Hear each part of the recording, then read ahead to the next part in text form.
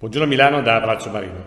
Siamo passati dalla fase 1 alla fase 2. Siamo passati dalla tragedia della fase 1, momento in cui abbiamo imparato termini come triage, respiratori, terapie intensive, a una fase 2 che sarà certamente molto molto difficile e la crisi economico-sociale sta montando, per cui il dibattito si sposterà su purtroppo disoccupazione, aiuti del governo alle imprese e alla famiglia, tensioni sociali. Ecco, la mia classe, la mia categoria, quella dei politici, è chiamata a una prova della verità, a una prova delle sue capacità immediate.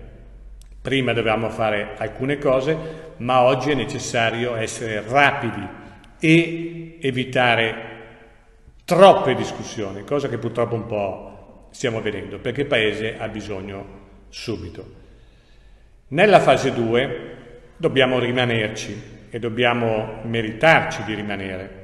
Dal punto di vista sanitario dovremmo essere accorti, dovremmo porre attenzione. In tanti mi scrivono e mi hanno scritto soprattutto nel weekend, sindaco c'è troppa gente in giro, troppa gente in Corso Garibaldi, troppa gente al Parco Nord. Ora io non so se c'è troppa gente, anche perché in teoria tutti il milione e 400 mila milanesi possono essere in giro, fanno attività motoria, il problema è che devono essere in giro rispettando una sola regola, e cioè indossare la mascherina e tenendo a distanza dagli altri.